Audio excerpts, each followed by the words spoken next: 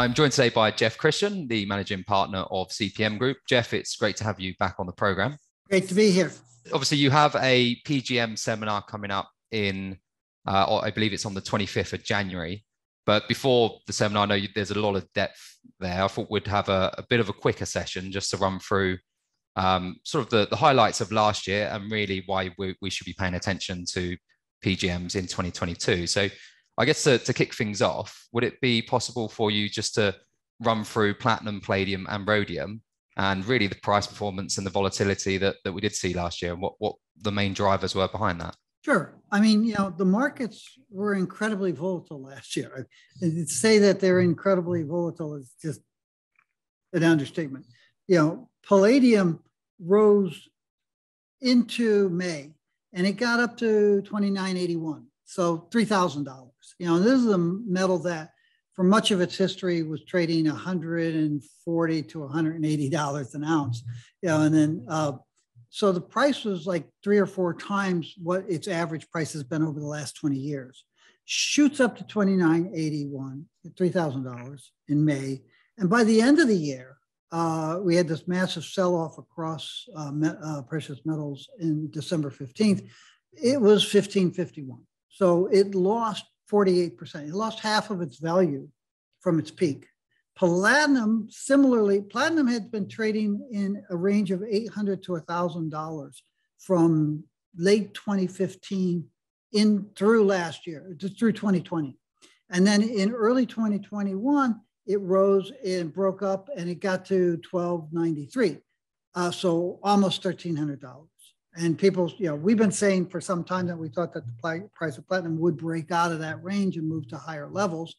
And it did it like, phew, yeah, uh, right away uh, by February. And then it fell. And by December 15th, it was back down to $894, you know, the middle of that range that it had held for five years. Um, now it's back over a thousand, or no, it's just under a thousand as we're speaking today but it's back around a thousand, you know, and, and we do think that it's going to break, move above that, and that, you know, what was the ceiling will be the, the, the floor. Um, and then rhodium, which is this obscure metal, it's not traded on uh, any futures market or commodity exchange, but it's critical in auto catalysts along with platinum and palladium. It rose like to, well, it rose 1300%. You know, it went from a couple thousand dollars, $3,000 a few years ago to $30,000 or 29,500 uh, in early 2021. And then it fell like 62%. So it gave up more than half of that value. By September, it was back down to $11,000 and it's about $14 or $15,000 now. So you have this incredible volatility across these markets. Know, and and um, that's, I guess, one of the reasons why we're having the seminar. And in in your view, obviously it's different for each one, but um, could you just touch on really briefly what what the main drivers were behind this volatility in the PGM space um, last year? There's there's some commonality, and then you know there's specific things. So all of them, I think, were suffering in 2020 to some extent by the shutdown of the auto industry and the collapse or sharp decline in auto production and auto sales. And you know, auto catalysts are used to clean up the exhaust of petroleum-based fuel engines. And, and so you've got uh, platinum, palladium, and rhodium used in those auto catalysts. So all of them, and it was like, you know, 40%, 40 plus percent of platinum goes into auto cats, about 67% of palladium goes into it, and probably around 90% of rhodium goes into auto cats. So this is their major market, and it got hit really hard in 2020 in early 2021, you had this sense that we were coming roaring out of the recession that the lockdown had induced and that auto sales would pick up. Well, auto sales did rise, but not that much. But at the same time, you had a couple issues. And one was the supply chain interruptions within the platinum group metals markets. And the other one is specific to rhodium. You know, there's just not that much rhodium left in the world in above ground inventories. So you had the auto industry really scrounging for metal on a quick basis. Like, hey, we didn't need it last year, but now we need it. And then investors saw that. And it came at the same time that you saw investors moving into gold and silver.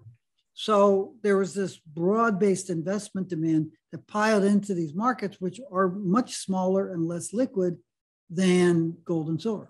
Just wanted to touch on rhodium quickly because obviously we, we have done other sessions on platinum and palladium and, and, and rhodium I guess is is a bit less mainstream. It's it's it doesn't really hit the spotlight as much, even with the price volatility of last year.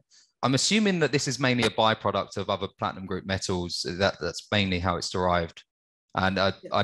is that mainly through Russia and South Africa, similar to the other PGMs? Um, and and just out of interest, I mean, how how would investors gain exposure to rhodium? I assume it's through the other PGM producers, is it? Yeah, that's the issue. I mean, rhodium is a byproduct of platinum palladium, and nickel. Major sources are Russia and South Africa. There is some rhodium that produces byproduct, but it's all byproduct. No one mines for the rhodium per se, although the South African miners have learned over the last 15 or 20 years to start to think of themselves as PGM producers as opposed to platinum producers. And you know, we had done a study for some of the South African producers back in like 1989, 1990, where we said at certain prices for palladium and rhodium, you can give your platinum away. And you need to start thinking of yourselves as PGM producers, not platinum producers. And they didn't buy that theory at first, but by 2000, it was pretty obvious that that was the writing on the wall. So rhodium is a byproduct, and, and you will tailor your mining to some extent to maximize your rhodium production. Um, but it, it's basically there. You know, and then its major use, as I said, is, is auto. Now, because it's a much smaller market, you're talking about maybe a million ounces of rhodium production a year and uh, demand. There's no terminal market, there's no futures. Uh, there were a couple banks that had created rhodium funds, ETF type funds, uh, uh, maybe a decade or so ago, but they didn't really um, take off. And they're basically liquidation only funds now. So you can't go to them and say, I want to buy into your rhodium fund. You, if you have rhodium there, you can sell it. Yeah, right. and and and that's been the case for some time. So it, it's very hard to invest directly in rhodium. And you know, I will say CPM Group does study rhodium and iridium and ruthenium and all, and non-platinum group metals, uh, specialty metals. So we do work on manganese and cobalt and stuff like that. And when an investor comes to us and says, uh, and you know, our clients are primarily family offices or institutional investors of some sort. Uh, when they say, well, we're interested in cobalt or rhodium, uh, we will say to them, if you're interested in it because you're going to invest or considering investing in a mining operation or a refinery uh, operation, we will supply you research and consulting. But if you want to invest in the metal, we'll only advise you if you agree that should you buy the metal, you hire us to manage it. Because it's very easy for an institution or another investor, uh, retail investors even, to buy these metals, but it's very hard to sell. Yeah, right. when you're an investor and you come to a broker or a dealer and you say, I want to buy rhodium, they say, fine, I'll sell it to you. And when it comes time to sell it, you have to go back to the same guy. He sees your phone number, he knows why you're calling. And all of a sudden, there's this enormous spread. And you know, you've seen it in cobalt and rhodium and ruthenium, where you can have a 100% spread. But it's like, okay, if you want to buy more rhodium, I'll sell it to you for $18,000. But if you want to sell me your rhodium, I'll buy it from you for 9000 you know, that you know that may not be an accurate historical thing, but you can see that kind of behavior. So when we are talking to investors about, well, how do I buy exposure to rhodium? Generally speaking, we'll only deal with them if they will let us manage it because we don't want to damage the market on the way out. Yeah. And there are times like in the 90s, we actually sold rhodium at a time when the market was weak and the investor just said, no, just get rid of it and we actually beat the market all the way down. Uh, you know, so yeah. you, you you have to be careful. No, I'm, I'm surprised there hasn't been a, a, new ETF, sort of as you were sort of talking about earlier, um, emerge recently with the with the volatility. But um, moving on to next year, um, or sort of, oh, sorry, we're in we're in 2020 already. This year, um, you're hosting this seminar. You have a, a PGM report due out soon. Um, it's obviously a topic that that CPM believe is worthy of note and, and worth investigating. Well, what why is that? What what what are you predicting to to happen uh, within the next 12 months in the space? Well, I think there's there's several things going on, and yeah, we just finished and released Friday our platinum group metals projections to the year 2050, and we take them out 30 years because you know because these things are so the auto industry and auto propulsion technology is central to all of these markets. If you had a rapid movement to electric vehicles, you don't need PGMs, and the platinum industry is destroyed, right? But our view is that any move to electric vehicles is going to be very slow, much slower than a lot of people think. And you look at the International Energy Agency's data on where we're going to get, be getting our electricity for the next 30 years. They go out to 2052. And if you go out to 2050, the IEA says that in 2050, we will still be getting more energy from petroleum than we will from all renewables combined. And it's going to be petroleum and natural gas. And to a third mm-hmm. extent, it'll be mm, uh, renewables, which will then be rivaling coal for third place. Yeah. So our view is that the market has been wrong in writing off PGMs that you are going to have an extended period of time where we still need platinum, palladium, and rhodium to clean up auto exhaust because we're going to be using petroleum for a long time, despite what the overly optimistic politicians say.